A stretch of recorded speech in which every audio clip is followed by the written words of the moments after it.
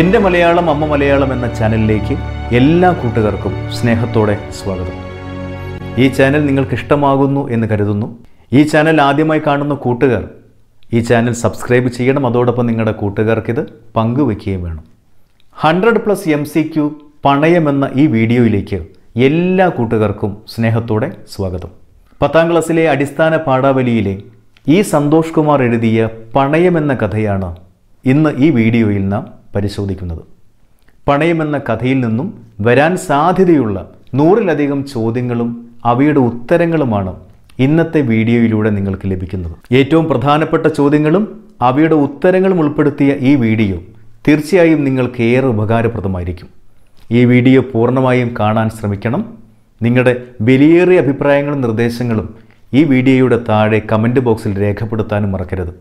ഈ ചാനൽ ആദ്യമായി കാണുന്ന കൂട്ടുകാർ ഈ ചാനൽ സബ്സ്ക്രൈബ് ചെയ്യണം.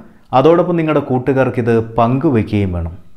എല്ലാവർക്കും ഒരിക്കൽ കൂടി hundred plus M C Q പണയമെന്ന ഈ വീഡിയോയിലേക്ക് സ്നേഹത്തോടെ സ്വാഗതം. വർഷങ്ങൾക്ക് മുമ്പുള്ള ഒരു കേരളീയ ഗ്രാമത്തിൽ നടന്ന കഥ. ആറാട്ടുകുന്ന് എന്ന ഗ്രാമത്തിന്റെ പശ്ചാത്തലത്തിൽ എഴുതപ്പെട്ട ഒരു കഥ. അതാണ് പണയം. ദൃശ്യമാധ്യമങ്ങൾ ഇന്നത്തെ പോലെ പ്രചാരത്തിലാകുന്നതിന് മുൻപ് ജനങ്ങളുടെ ദൈനംദിന ജീവിതത്തെ ഏറെ സ്വാധീനിച്ച ഒരു മാധ്യമമായിരുന്നു റേഡിയോ. മാധ്യമങ്ങൾ അറിയാനും അറിയിക്കാനും മാത്രമല്ല ആനന്ദിക്കാനും ആശ്വസിപ്പിക്കാനും കൂടിയാണ് എന്ന തിരിച്ചറിവ് നൽകുന്ന കഥയാണ് ഈ സന്തോഷ് കുമാറിന്റെ പണയം. പണം മാത്രം പോരാ ജീവിതത്തിൽ സംഗീതാദി കലകൾ ആസ്വദിക്കാനുള്ളൊരു മനസ്സുകൂടി വേണം. തയ്യൽക്കാരൻ ചാക്കുണ്ണി പലിശക്കാരൻ ചെമ്പുമത്തായി ഇവരാണ് ഈ കഥയിലെ പ്രധാന കഥാപാത്രങ്ങൾ. അതോടൊപ്പം തന്നെ ഏറെ പ്രാധാന്യത്തോടെ ഒരു റേഡിയോ ഈ കഥയിൽ കടന്നു വരുന്നുണ്ട്. തീർത്തും ദരിദ്രമായ സാഹചര്യത്തിൽ കഴിയുന്ന ചാക്കുണ്ണി എന്ന തയ്യൽക്കാരൻ രാപ്പകൽ ഭേദമില്ലാതെ അധ്വാനിച്ച് ഒരു റേഡിയോ സ്വന്തമാക്കുന്നു. ആ റേഡിയോ അദ്ദേഹത്തിന്റെ ജീവിതത്തിന്റെ ഭാഗമാകുന്നു തൊഴിലിന്റെ താളമാകുന്നു. പക്ഷെ ഒരിക്കൽ അദ്ദേഹത്തിന് ആ റേഡിയോ പണയം വെക്കേണ്ടി വരുന്നു. അതോടെ ചാക്കുണ്ണിയുടെ ജീവിതത്തിന്റെ താളം തെറ്റുകയാണ്. റേഡിയോ എന്ന മാധ്യമം സമൂഹത്തിന്റെയും വ്യക്തിയുടെയും ദൈനംദിന ജീവിതത്തെ വൈകാരികമായി എങ്ങനെ സ്വാധീനിക്കുന്നു എന്നതിന്റെ ഒരു ചിത്രണമാണ് പണയമെന്ന ഈ കഥ. ഒരു ചലച്ചിത്രം പോലെ വായനക്കാരന്റെ മനസ്സിൽ പതിയുന്ന വിവരണമാണ് ഈ കഥയുടേത്. ഈ കഥ വിശദമാക്കുന്നതിന് മുമ്പ് ആദ്യം നമുക്ക് കഥാകാരനെ പരിചയപ്പെടാം. ഈ സന്തോഷ് കുമാർ. ആയിരത്തി തൊള്ളായിരത്തി അറുപത്തി ഒൻപതിൽ തൃശ്ശൂർ ജില്ലയിലെ പട്ടിക്കാട് എന്ന ഗ്രാമത്തിൽ ഗോവിന്ദൻകുട്ടിയുടെയും വിജയലക്ഷ്മിയുടെയും മകനായി ജനിച്ചു. മലയാള ഉത്തരാധുനിക ചെറുകഥാകൃത്തും നോവലിസ്റ്റുമാണ് നമ്മുടെ പ്രിയപ്പെട്ട എഴുത്തുകാരൻ ഈ സന്തോഷ് കുമാർ. മികച്ച കഥാസമാഹാരത്തിനും നോവലിനുമുള്ള കേരള സാഹിത്യ അക്കാദമി അവാർഡും മറ്റു നിരവധി പുരസ്കാരങ്ങളും നേടിയിട്ടുണ്ട് ഈ സന്തോഷ് കുമാർ. പ്രധാനപ്പെട്ട കൃതികൾ പരിശോധിക്കാം. നോക്കൂ. അദ്ദേഹത്തിന്റെ കഥകളാണ് നാം കാണുന്നത്. ഗാലപ്പഗോസ് മൂന്ന് അന്ധന്മാർ ആനയെ വിവരിക്കുന്നു. ചാവുകളി മൂന്ന് വിരലുകൾ നീചവേദം കഥകൾ. ഇവയാണ് ഈ സന്തോഷ് കുമാറിന്റെ പ്രധാന ചെറുകഥാ സമാഹാരങ്ങൾ. അമ്യൂസ്മെന്റ് പാർക്ക് വാക്കുകൾ തങ്കച്ചൻ മഞ്ഞക്കാരൻ അന്ധകാര നഴി കുന്നുകൾ നക്ഷത്രങ്ങൾ ചിദംബര രഹസ്യം ജ്ഞാനഭാരം. ഇവയാണ് അദ്ദേഹത്തിന്റെ പ്രധാന നോവലുകൾ. യുവകവിക്കുള്ള എഴുത്തുകൾ പാപ്പിയോൺ എന്നിവ പരിഭാഷ വിഭാഗത്തിൽ ഉൾപ്പെടുന്ന കൃതികളാണ്. ബാലസാഹിത്യ വിഭാഗത്തിൽ ഉൾപ്പെടുന്ന കൃതിയാണ് കാക്കരദേശത്തെ ഉറുമ്പുകൾ. ഇത്രയുമാണ് ഇദ്ദേഹത്തിന്റെ ഏറെ പ്രധാനപ്പെട്ട കൃതികൾ. ഈ സന്തോഷ് കുമാർ എന്ന എഴുത്തുകാരനെ തേടിയെത്തിയ പുരസ്കാരങ്ങൾ ഇവയാണ്. നോക്കൂ. കേരള സാഹിത്യ അക്കാദമി അവാർഡ് ചെറുകഥയ്ക്കുള്ള അവാർഡ് ചാവുകളി എന്ന കഥയ്ക്ക്. കേരള സാഹിത്യ അക്കാദമിയുടെ നോവലിനുള്ള പുരസ്കാരം അന്ധകാര നഴി എന്ന നോവലിന്. ബാലസാഹിത്യ ഇൻസ്റ്റിറ്റ്യൂട്ടിന്റെ പുരസ്കാരം നേടിയത് കാക്കരദേശത്തെ ഉറുമ്പുകൾ എന്ന കൃതിക്കാണ്. ഇനി സാഹിത്യകാരനുമായി ബന്ധപ്പെട്ടുകൊണ്ട് വരാൻ സാധ്യതയുള്ള ചോദ്യങ്ങൾ പരിശോധിക്കാം. ആദ്യം നോക്കൂ പണയം എന്നത് ഏതു സാഹിത്യ വിഭാഗത്തിൽ ഉൾപ്പെടുന്നു? നോവൽ ആത്മകഥ ചെറുകഥ ഉപന്യാസം. ചെറുകഥ വിഭാഗത്തിൽ ഉൾപ്പെടുന്നതാണ് പണയം എന്നത്. കടൽ തീരത്ത് എന്ന കഥയും നമ്മൾ പഠിച്ചിട്ടുണ്ട്.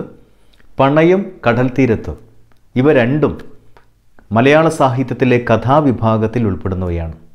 ഈ സന്തോഷ് കുമാറിന് രണ്ടായിരത്തി പന്ത്രണ്ടിലെ കേരള സാഹിത്യ അക്കാദമി അവാർഡ് നേടിക്കൊടുത്ത നോവലേത് അന്ധകാര നഴി എന്ന നോവലിനാണ് കേരള സാഹിത്യ അക്കാദമിയുടെ പുരസ്കാരം ഈ സന്തോഷ് കുമാറിന് ലഭിച്ചത്. ഈ സന്തോഷ് കുമാറിന് രണ്ടായിരത്തി ആറിൽ കേരള സാഹിത്യ അക്കാദമി പുരസ്കാരം നേടിക്കൊടുത്ത കൃതി ഏത്? അത് ചെറുകഥയാണ് ചാവുകളി എന്നാണ് ആ കൃതിയുടെ പേര്.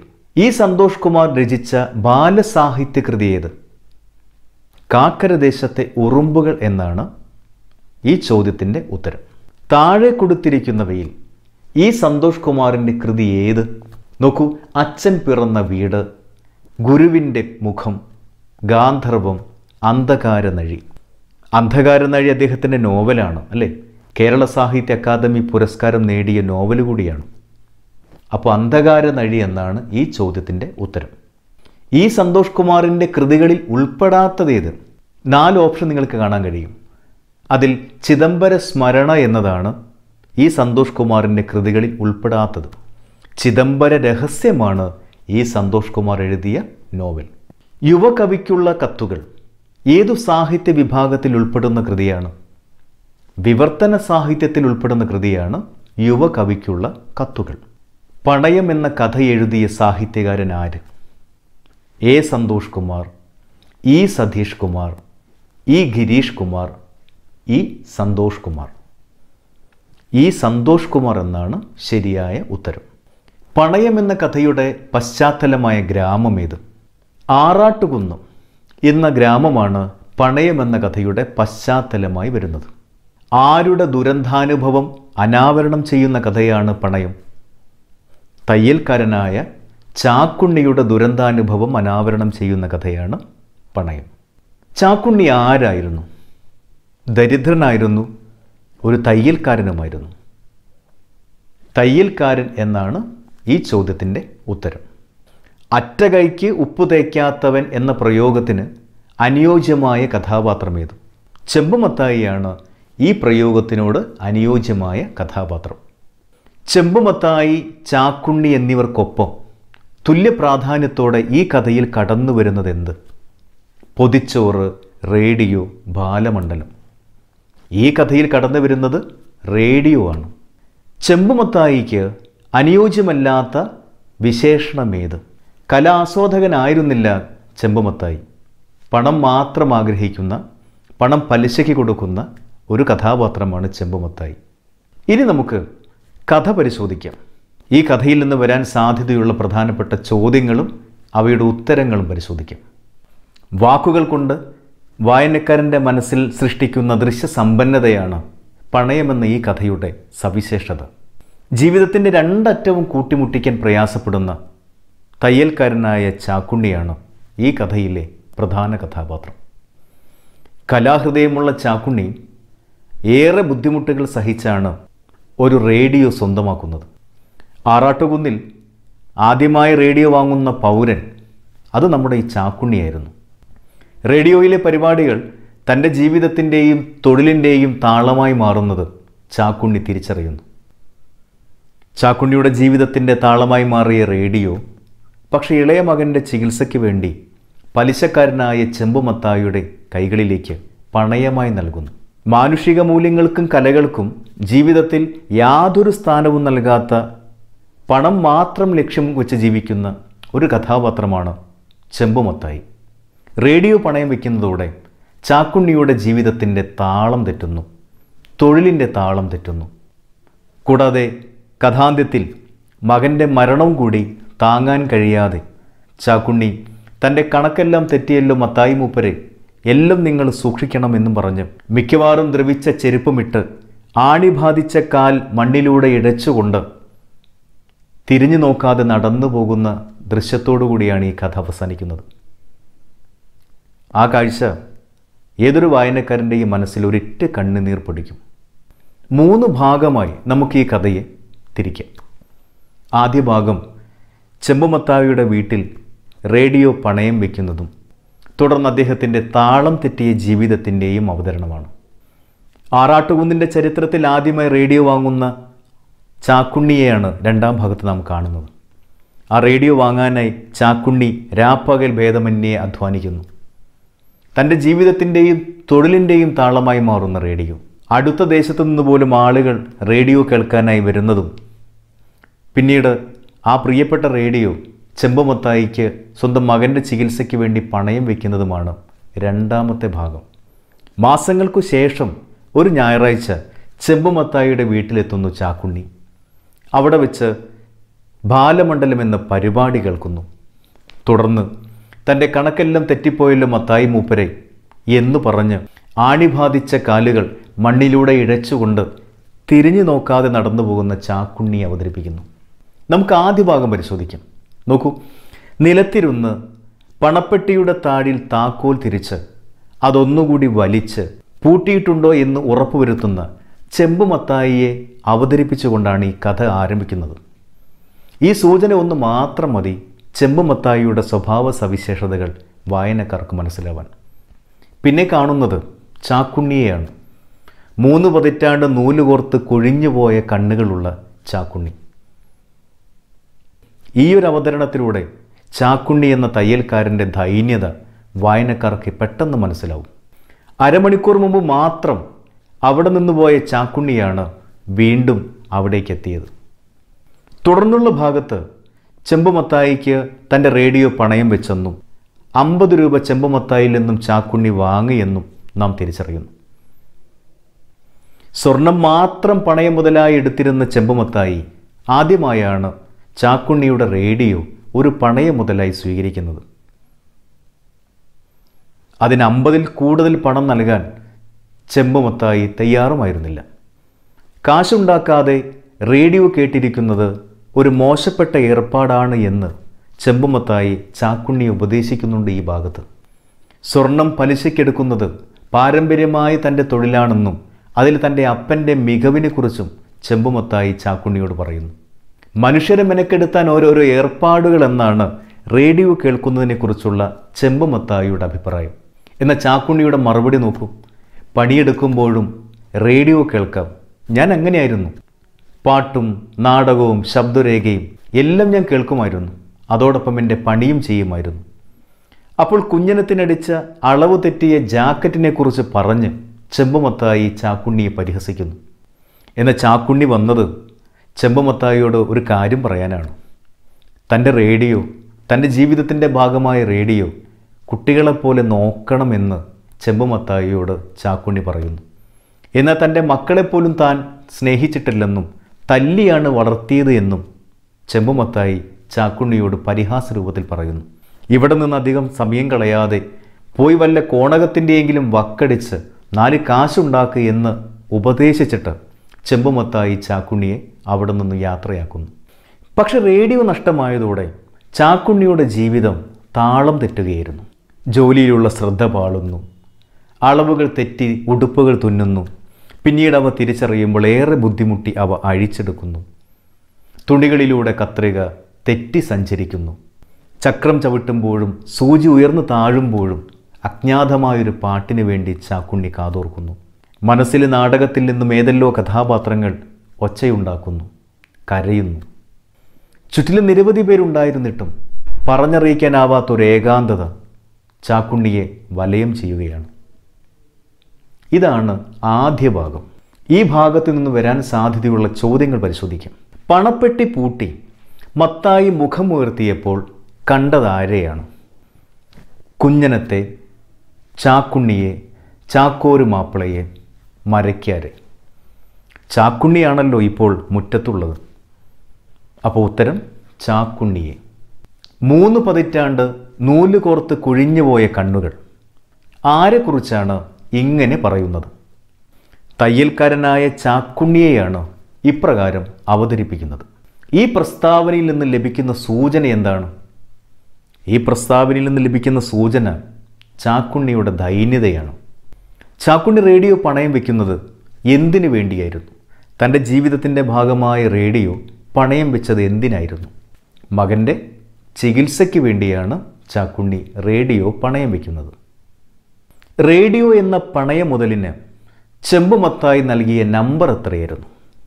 നൂറ്റി ഇരുപത്തി ഒൻപത് എന്ന നമ്പറാണ് ചാക്കുണ്ണിയുടെ റേഡിയോയിന് ചെമ്പുമത്തായി നൽകിയത്. റേഡിയോയ്ക്ക് എത്ര പണമാണ് ചെമ്പുമത്തായി ചാക്കുണ്ണിക്ക് നൽകിയത്? അമ്പത് രൂപയാണ് റേഡിയോയ്ക്ക് ചെമ്പുമത്തായി ചാക്കുണ്ണിക്ക് നൽകിയത്. ആ മുതലുകൊണ്ട് അമ്പത് ഉറുപ്പ്യ എന്നെ കിട്ടില്ല. ഏത് മുതലുകൊണ്ട് ചെമ്പുമത്തായിയാണ് അങ്ങനെ പറയുന്നത്. റേഡിയോ എന്ന മുതലിനെ കുറിച്ചാണ് ചെമ്പുമത്തായി ഇവിടെ സൂചിപ്പിക്കുന്നത്. സ്വർണം മാത്രം എടുക്കുന്ന ചെമ്പുമത്തായി ആദ്യമായാണ് റേഡിയോ പണയ മുതലായി സ്വീകരിക്കുന്നത്.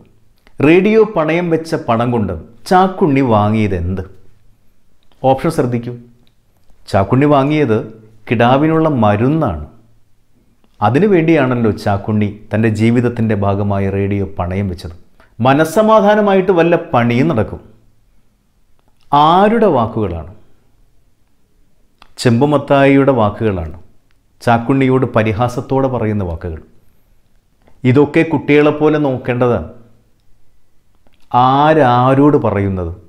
എന്തിനെക്കുറിച്ചാണ് സൂചിപ്പിക്കുന്നത്? ചാക്കുണ്ണി തന്റെ പണയ മുതലായ റേഡിയോവിനെ കുറിച്ചാണ് പറയുന്നത്. ചെമ്പുമത്തായിയോടാണ് പറയുന്നത്. അല്ലേ? ചാക്കുണ്ണി ചെമ്പുമത്തായിയോട് റേഡിയോയിനെ കുറിച്ചാണ് പറയുന്നത്. മൂന്ന് ചോദ്യങ്ങൾക്ക് ഇവിടെ പ്രസക്തിയുണ്ട്. കുട്ടികളെ തന്നെ ഞാൻ ലാളിച്ചിട്ടില്ല. ആരാണ് ഇപ്രകാരം പറഞ്ഞത്? ചെമ്പുമത്തായിയാണ് പറഞ്ഞത്. റേഡിയോ കുട്ടികളെപ്പോലെ നോക്കണമെന്ന് ചാക്കുണ്ണി പറഞ്ഞപ്പോൾ താൻ കുട്ടികളെപ്പോലും ലാളിച്ചിട്ടില്ല താലോലിച്ചിട്ടില്ല എന്ന് ചെമ്പുമത്തായി പറയുന്ന ഭാഗമാണിത്. ചെമ്പുമത്തായിയുടെ കർക്കശ സ്വഭാവമാണ് ഈ വരികളിൽ തെളിയുന്ന ഭാവം. ചാക്കൂരു മാപ്പിളയ്ക്ക് സ്വർണം ചോരയിലുണ്ടായിരുന്നത് ഒരച്ചു നോക്കാണ്ട് തന്നെ പറയും ഇത്ര ചെമ്പ് ഇത്ര സ്വർണം. ആരുടെ വാക്കുകളാണ്? ചെമ്പുമത്തായിയുടെ വാക്കുകളാണ്. ആരെക്കുറിച്ചാണ് പറയുന്നത്? ചെമ്മമത്തായി സ്വന്തം അപ്പനായ ചാക്കോര് മാപ്പിളയെക്കുറിച്ച് പറയുന്നത്. ഈ പ്രസ്താവനയിൽ തെളിയുന്നത് എന്താണ്? ഈ പ്രസ്താവനയിൽ തെളിയുന്നത് ചാക്കോര് മാപ്പിളയുടെ തൊഴിലിലുള്ള മികവാണ്. സ്വർണം ഒരച്ചു നോക്കാതെ തന്നെ എത്ര സ്വർണം എത്ര ചെമ്പ് എന്ന് കൃത്യമായി പറയാൻ കഴിയുന്ന ചാക്കോര് മാപ്പിളയുടെ കഴിവിനെയാണ് ഈ വരികളിലൂടെ വ്യക്തമാക്കുന്നത്. ആരുടെ കഴിവിനെക്കുറിച്ചാണ് ഇവിടെ സൂചിപ്പിക്കുന്നത്? ചാക്കോര് മാപ്പിളയുടെ കഴിവിനെക്കുറിച്ചാണ് ഇവിടെ സൂചിപ്പിക്കുന്നത്. ഈ റേഡിയോ പാട്ടൊന്നും എനിക്കത്ര പിടുത്തില്ല മനുഷ്യരെ മെനക്കെടുത്തുന്ന ഓരോ ഏർപ്പാടുകളായി ചാക്കുണ്ണിയോട് ചെമ്പുമത്തായി പറയുന്ന വാക്കുകളാണിത്. കലകളോടൊന്നും ഒരു താല്പര്യവുമില്ലാത്ത പണം മാത്രമാണ് ജീവിതത്തിൽ ഒരേ ഒരു ലക്ഷ്യമായി കണ്ടിരുന്നത്. അതാണ് ചെമ്പമത്തായിയുടെ ഈ വാക്കുകളിൽ തെളിയുന്ന ഭാവം. തല്ലി വളർത്തണം കുട്ടികളെ. ആരുടെ വാക്കുകളാണ്? ചെമ്പുമത്തായിയുടെ വാക്കുകളാണ്. തന്റെ മക്കളെ തല്ലി വളർത്തിയത് കേമമായി പറയുന്നുമുണ്ട് ചെമ്പുമത്തായി. ആ കുന്ത ഇവിടെ ഇരിക്കുന്നത് തന്നെയാണ് നിനക്കും നല്ലത്. ഇവിടെ കുന്തം എന്നത് എന്തിനെയാണ് അർത്ഥമാക്കുന്നത്? റേഡിയോയാണ് ആരാണ് പറയുന്നത്? ചെമ്പുമത്തായിയാണ്. ആരോടാണ് പറയുന്നത്? ചാക്കുണ്ണിയോടാണ്. അയാളുടെ ജോലിയിലുള്ള ശ്രദ്ധ പാളിപ്പോയി. ആരുടെ? ചാക്കുണ്ണിയുടേതാണ്. റേഡിയോ പണയം വെച്ചതിന് ശേഷം ജീവിതത്തിന്റെയും തൊഴിലിന്റെയും താളമാകെ തെറ്റിപ്പോകുന്നു ചാക്കുണ്ണിയുടേത്. എപ്പോഴാണ് ജോലിയിലുള്ള ശ്രദ്ധ പാളിപ്പോയത്? തന്റെ ജീവിതത്തിന്റെ തന്നെ ഭാഗമായ റേഡിയോ പണയം വെച്ചപ്പോഴാണ് അയാളുടെ തൊഴിലിന്റെ താളം തെറ്റിപ്പോയത്. ചക്രം ചവിട്ടുമ്പോഴും സൂചി ഉയർന്ന് താഴുമ്പോഴും അയാൾ കാതോർത്തു. ചാക്കുണ്ണി കാതോർത്തു. എന്തിനു വേണ്ടിയാണ് കാതോർത്തത്? അജ്ഞാതമായ ഒരു പാട്ടിനു വേണ്ടിയാണ് കാതോർത്തത്. ചെമ്പുമത്തായിയുടെ ജീവിത ലക്ഷ്യം എന്തായിരുന്നു? പണം മാത്രമാണ് ചെമ്പുമത്തായിയുടെ ജീവിതത്തിന്റെ ലക്ഷ്യം. മനസമാധാനമായിട്ട് വല്ല പണിയും നടക്കും. ആരുടെ വാക്കുകളാണ്? ചെമ്പുമത്തായിയുടെ വാക്കുകളാണ്. ആരോട് പറഞ്ഞ വാക്കുകളാണ്? ചാക്കുണ്ണിയോട് പറഞ്ഞ വാക്കുകളാണ്. എപ്പോഴാണിത് പറഞ്ഞത്? റേഡിയോ പണയം മുതലായി വാങ്ങിയതിന് ശേഷം. റേഡിയോ എങ്ങനെ ശ്രദ്ധിക്കണമെന്നാണ് ചാക്കുണ്ണി പറയുന്നത്? കുട്ടികളെ പോലെ നോക്കണമെന്നാണ് പറഞ്ഞത് അല്ലേ? കുട്ടികളെ പോലെ ശ്രദ്ധിക്കണം. റേഡിയോയുടെ പിൻവശത്തും ഒരു കുട്ടിയുടെ ചിത്രമുണ്ട്. അതുകൊണ്ട് കുട്ടികളെ പോലെ ശ്രദ്ധിക്കണമെന്നാണ് ചെമ്പുമത്തായിയോട് ചാക്കുണ്ണി പറയുന്നത്. ഇനി രണ്ടാമത്തെ ഭാഗം നോക്കാം. കലാഹൃദയമുള്ള ചാക്കുണ്ണി ഏറെ ബുദ്ധിമുട്ടുകൾ സഹിച്ചാണ് ഒരു റേഡിയോ വാങ്ങുന്നത്. ആറാട്ടുകുന്നിന്റെ ചരിത്രത്തിലെ ആദ്യ റേഡിയോ ആണ് ചാക്കുണ്ണിയുടെ റേഡിയോ. ആറാട്ടുകുന്നിൽ റേഡിയോ വാങ്ങുന്ന ആദ്യത്തെ പൗരനായിരുന്നു ചാക്കുണ്ണി. റേഡിയോ വാങ്ങാൻ വേണ്ടി അദ്ദേഹം എന്തൊക്കെ ചെയ്തു? ഓണക്കാലത്ത് രാപ്പകൽ ഭേദമന്യേ പണിയെടുത്തു. പതിവുള്ള ബീഡി വലി നിർത്തി. കള്ളുഷാപ്പുകൾക്കടുത്തെത്തുമ്പോൾ മുഖം തിരിച്ചു നടന്നു. കാലിൽ ആണിയുടെ അസുഖമുണ്ടായിരുന്നിട്ടും തന്റെ പഴയ ചെരുപ്പ് മാറ്റിയില്ല ചാക്കുണ്ണി. എല്ലാ വർഷവും മലയാറ്റൂർ മുത്തപ്പനെ കാണാൻ പോകുന്ന യാത്ര ആ കൊല്ലം ചാക്കുണ്ണി മുടക്കം വരുത്തി. പിൻവശത്ത് ഒരു കുട്ടിയുടെ പടമുള്ള റേഡിയോ വാങ്ങുന്നു ചാക്കുണ്ണി. Murphy radio. തയ്യൽക്കടയിൽ റേഡിയോ പ്രവർത്തിച്ച കാലം അത് ആറാട്ടുകുന്നിന്റെ ചരിത്രത്തിൽ ഒരു സംഭവം തന്നെയായിരുന്നു. ആറാട്ടുകുന്നിലെ ആളുകൾ മാത്രമല്ല ദൂരദേശത്തിലെ ആളുകൾ പോലും ചാക്കുണ്ണിയുടെ തയ്യൽ കടയിലേക്ക് വന്നു. റേഡിയോ കേൾക്കാൻ പാട്ടുകൾ കേൾക്കാൻ. പലപ്പോഴും ചാക്കുണ്ണിക്ക് തന്റെ ആ ചെറിയ മുറിയിൽ നിന്നും ആളുകളോട് മാറി നിൽക്കാൻ പറയേണ്ടി വന്നു. രാത്രി ഏറെ വൈകി വീട്ടിലേക്ക് പോകുമ്പോഴും ചാക്കുണ്ണിയുടെ കയ്യിലെ റേഡിയോ പ്രവർത്തിക്കും.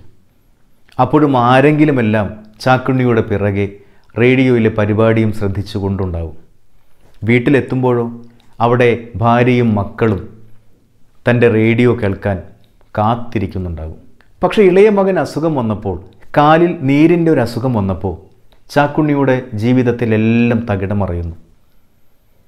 ആദ്യമെല്ലാം കടം വാങ്ങുന്നു പിന്നീട് കടം കിട്ടാതെ വന്നപ്പോൾ ചാക്കുണ്ണി മറ്റൊരു വഴിയുമില്ലാതെ വന്നപ്പോൾ തന്റെ പ്രിയപ്പെട്ട റേഡിയോ ചെമ്പുമത്തായി എന്ന പലിശക്കാരന് പണയമായി നൽകാൻ തയ്യാറാവുന്നു.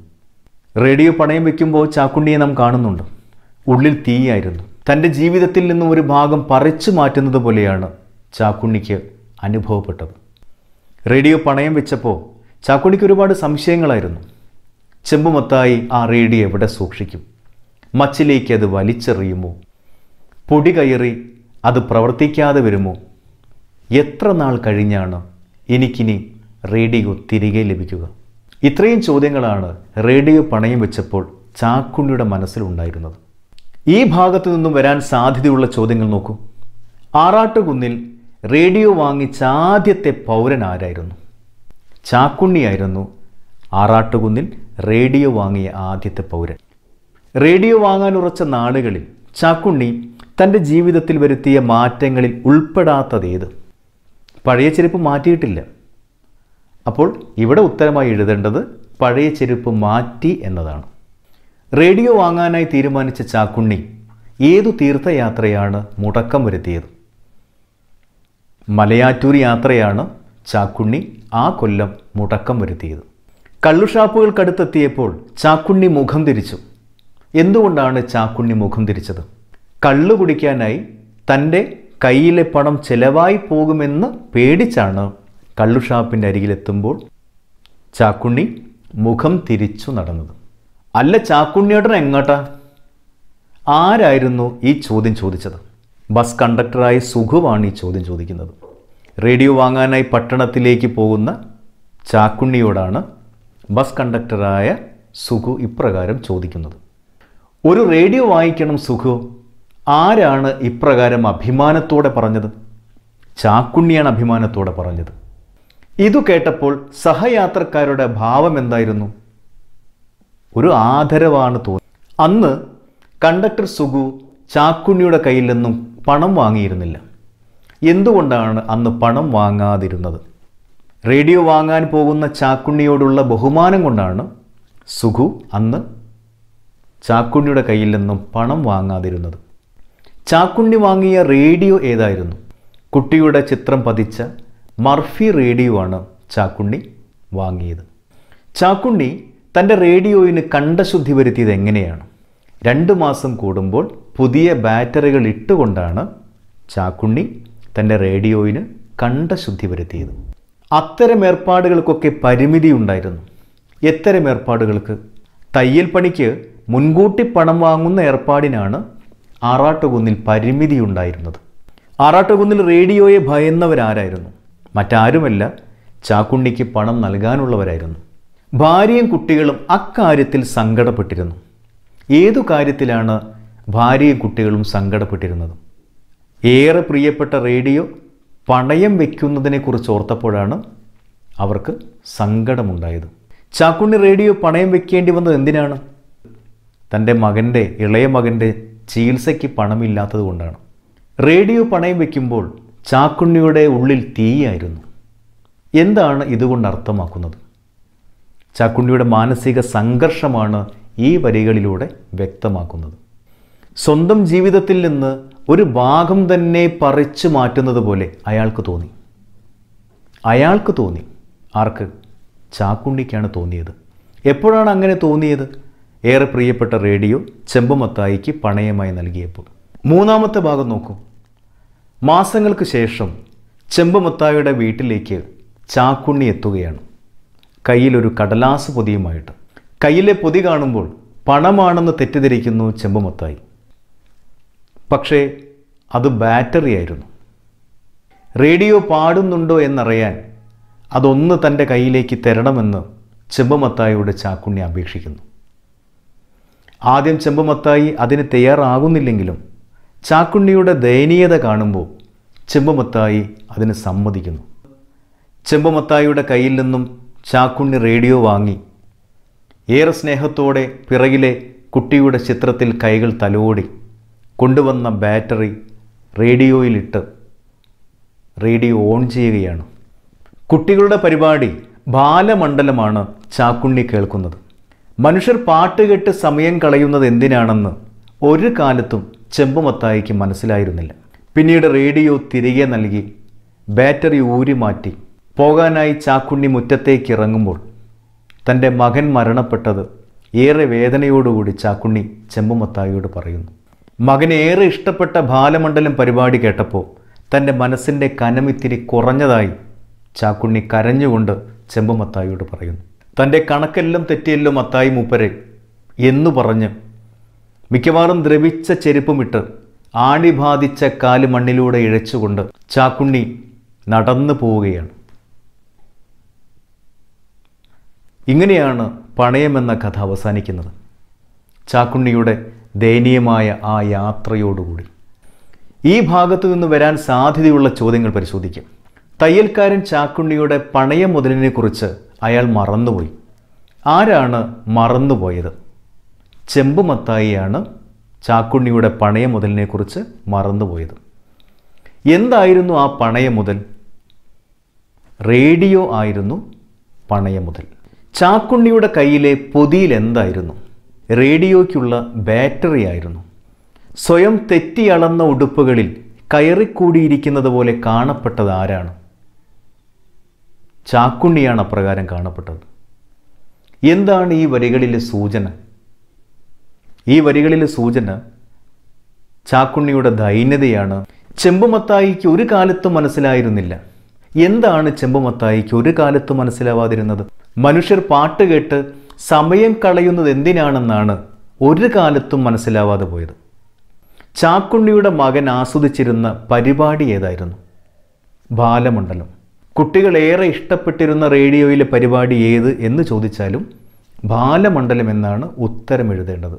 മനസ്സിന്റെ കനം ഇത്തിരി കുറഞ്ഞത് ഇപ്പോഴാണ്. ആരാരോട് പറയുന്നതാണ്? ചാക്കുണ്ണി ചെമ്പുമത്തായിയോട് പറയുന്നത്. ആരുടെ മനസ്സിന്റെ സങ്കടമാണ് ഇത്തിരി കുറഞ്ഞത്? ചാക്കുണ്ണിയുടെ മനസ്സിന്റെ സങ്കടം. എന്തായിരുന്നു ചാക്കുണ്ണിയുടെ മനസ്സിലെ സങ്കടം? മകൻ നഷ്ടപ്പെട്ട സങ്കടം. അല്ലെങ്കിൽ മകന്റെ മരണത്തെക്കുറിച്ചുള്ള വേദന. എന്റെ കണക്കൊക്കെ തെറ്റിയല്ലോ മത്തായി മൂപ്പരെ. നിങ്ങളെല്ലാം എഴുതി വയ്ക്കണം ഇതാരുടെ വാക്കുകളാണ്? മത്തായി മൂപ്പരോട് പറയുന്ന വാക്കുകളാണ്. ചാക്കുണ്ണി പറയുന്ന വാക്കുകളാണ്. ജീവിതത്തിലെല്ലാം നഷ്ടപ്പെട്ടു പോയ ചാക്കുണ്ണിയുടെ അവസ്ഥയാണ് ഈ വരികളിൽ കാണുന്നത്. നിങ്ങളുടെ വിലയേറിയ അഭിപ്രായങ്ങളും നിർദ്ദേശങ്ങളും ഈ വീഡിയോയുടെ താഴെ കമന്റ് ബോക്സ് രേഖപ്പെടുത്തണം. ഈ ചാനൽ ആദ്യമായി കാണുന്ന കൂട്ടുകാർ ഈ ചാനൽ നിങ്ങളുടെ കൂട്ടുകാർക്ക് പങ്കുവെക്കണം അതോടൊപ്പം സബ്സ്ക്രൈബ് ചെയ്യാനും മറക്കരുത്. നിങ്ങൾക്കേറെ ഉപകാരപ്പെടുന്ന മറ്റൊരു വീഡിയോയുമായി വീണ്ടും കണ്ടുമുട്ടാം. എല്ലാ കൂട്ടുകാർക്കും സ്നേഹത്തോടെ നന്ദി നമസ്കാരം.